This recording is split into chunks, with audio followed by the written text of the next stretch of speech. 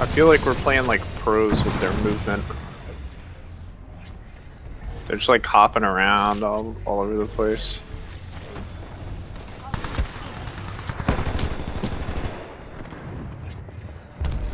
Yep, they're doing it well.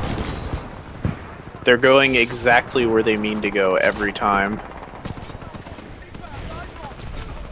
No. I mean, I'm just watching them run around.